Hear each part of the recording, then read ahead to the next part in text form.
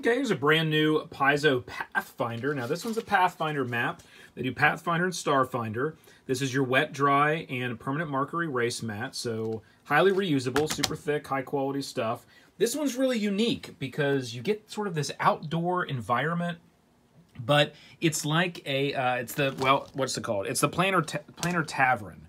So you get like the little seats here, like you're at a tavern, kind of a setup outdoors. This one's really cool. I think for, you could use this for a lot of different things, uh, different meetups and whatnot. Maybe this is outside on the back of the inn. Really cool. And then on the other side, you've got kind of a, uh, one that's sort of in hell or whatnot. So you, you've got the seats again, little bridges in between. There's various different little, you know, bits and barrels and different things that's on this map. So two really cool maps there for your uh, tavern hangout needs.